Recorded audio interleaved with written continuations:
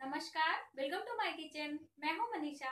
आज मैं आपको एक बहुत अच्छी चीज़ बताने आई हूँ दोस्तों, जो है बची हुई ग्रीन टी से एक नया चीज़ मैं बनाऊँगी, जो है आलता जी हाँ दोस्तों, जो ग्रीन टी हम लोग पीते हैं ग्रीन टी आप सबको पता है कितनी हमारे लिए हेल्पफुल है, हमारी हेल्थ के लिए।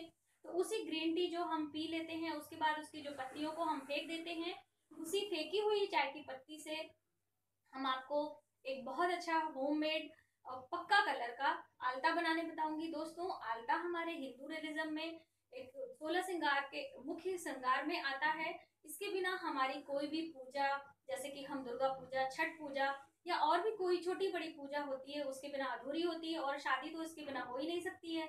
तो इतना अहम चीज़ है बट इसके साथ हमें छोटी छोटी प्रॉब्लम्स भी फेस करना पड़ता है, जो कि है, जैसे ये कच्चे कलर का होता है, यानी इसका रंग धीरे धीरे निकलता रहता है तो हम जब भी इसे लगाते हैं तो हमारे जो स्लीपर्स होते हैं या फिर हमारे जो वॉशरूम यूज़ करने के बाद जो पैर गीले हो जाते हैं, उसके बाद जो हमारे फ्लोर हैं या बेड शीट है, ये सारी हमारी खराब होने लगती है, यानी कि उस पर कलर आ जाता है। तो ये सारी प्रॉब्लम्स आपको न फेस करनी पड़े तो आज हम ग्रीन टी से होम मेड आलता बनाएँगे, वो भी पक्के कलर का। तो चलिए हम शुरू करते हैं अपना होम मेड आलता बनाना। और दोस्तों, आज के बाद आप ग्रीन टी नहीं फेंकेंगे। इस ग्रीन टी का आलता जो तैयार होगा वो कलर तो पक्का होगा और एकदम ब्राइट कलर का होगा और इससे हमारे पैर भी सुंदर रहेंगे। तो देर ना करते हुए हम चलिए शुरू करते हैं। आलता तैयार करने के लिए हमने यहाँ पे दो बड़े चम्मच शुगर लिया हुआ है और दो बड़े चम्मच हमने ग्रीन टी का इस्तेमाल किया है। ये आप दे, देख सकते हैं ये वाली ग्रीन टी है। और ये जो बची हुई ग्रीन टी यानी जो हमने यूज़ किया, ये आप देख सकते हैं, इस तरह होती है। इसको हमने पेपर में सुखाया तो सूखने के बाद ये इस तरह हो गई। इसको हमने दो बड़े चम्मच लिया है। आप चाहें तो आप फ्रेश भी ले सकते हैं और इसके अंदर कलर हम डालेंगे। ये जो हमारा सिंदूर होता है, इसी को डाल के हमने कलर बनाना है। तो इसको हम डाल देंगे तो कलर हमारा बहुत ही अच्छा ब्राइट कलर आएगा। ठीक है? तो इतनी सारी चीज़ों से हमें ये आलता तैयार करना है और इसके लिए चाहिए हमें एक टीन का डिब्बा। तो सबसे पहले हमें इसमें ये डिब्बा लेंगे। इसके अंदर हमें डालना है ये अपना जो शुगर है, दो चम्मच, और इसके अंदर हम मिलाएँगे ये ग्रीन टी। दो बड़े चम्मच हमने ग्रीन टी मिलानी है। इस डिब्बे के अंदर हमने सबसे पहले अपना ये ग्रीन टी और शुगर वाला जो मिक्सचर था उसको डाला है। इसके अंदर हमें जगह बनानी है थोड़ी सी और उसके बाद इसमें हमें ये कप लगाना है। अब हम डालेंगे इसके ऊपर अपना ये जो एक कटोरी है छोटी सी इसको रखना है। और उसके ऊपर हम ये पानी का बाउल रखेंगे। आप देख सकते हैं, ये आइस वाला पानी है। अब हम चलते हैं इसको गैस के ऊपर। ये आप देख सकते हैं, मैंने गैस ऑन करी। इसके ऊपर हमने एक स्टैंड लगाया जिससे हमारा जो ये डिब्बा है, वो अच्छे से सेट हो जाए। और हमने आँच को एकदम फुल किया है। अब हम करीब दो तीन मिनट का वेट करते आप देख सकते हैं, दो से तीन मिनट हो गया और कितनी ज़्यादा स्टीम हमारी बाहर आ रही है। और उतनी स्टीम उसमें अंदर इकट्ठा हो जाएगी।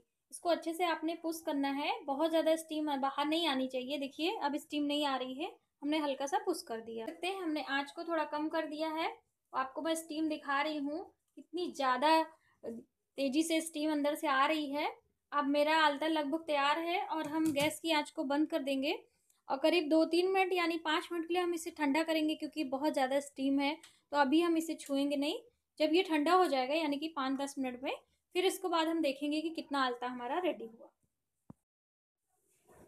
देखिए, करीब हमारा दस से पाँच मिनट हो गया है और ये बिल्कुल ही ठंडा हो गया। इसको हम हाथ से छू सकते हैं।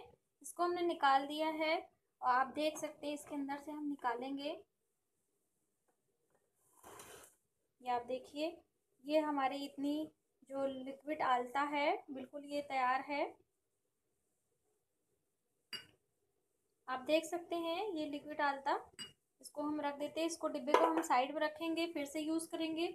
और ये बाउल लेते हैं, इसके अंदर हमने ये, जो हमारा ये सिंदूर है, आप देख सकते हैं, ये सिंदूर से हमने इसको लिया, इसके अंदर।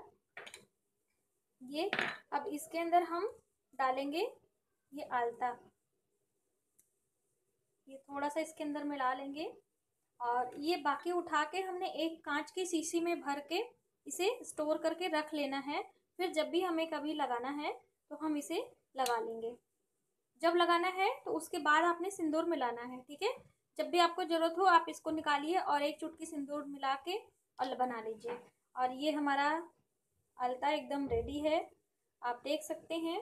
अब हम आप इस इसको हम आपको पैरों में लगा के दिखाते हैं कि इसका कलर कितना खूबसूरत आएगा। तो चलिए हम लगाते हैं इसे पैरों में।